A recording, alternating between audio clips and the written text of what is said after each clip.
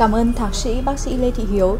À, thưa bác sĩ thì bác sĩ có thể cho biết là hiện nay cái bệnh u nang buồng trứng thì có dấu hiệu nhận biết như thế nào và nguyên nhân nào dẫn đến căn bệnh này?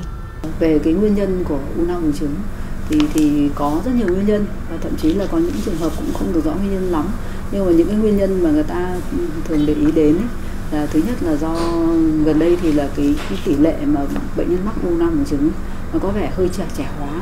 Là do là cái tuổi dậy thì tuổi dậy thì của, của các cháu bây giờ cũng uh, sớm hơn so với ngày xưa tuổi dậy thì sớm. Uh, thứ hai nữa là uh, liên quan đến uh, các cái uh, thủ thuật can thiệp vào buồng tử cung cũng nhiều gây những các cái viêm nhiễm phụ khoa cũng là một trong những nguyên nhân có thể gây ra u nang buồng trứng.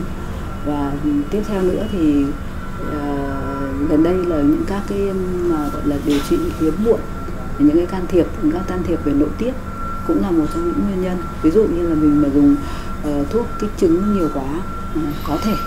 Tất nhiên không phải tất cả nhưng cũng đấy cũng là một những nguyên nhân uh, có thể dẫn đến buồng trứng. Hoặc là có thể là do lạc nội mạc tử cung tại buồng trứng thì nó cũng gây lên những cái u nang buồng trứng gọi là u nang buồng trứng dạng lạc nội mạc tử cung.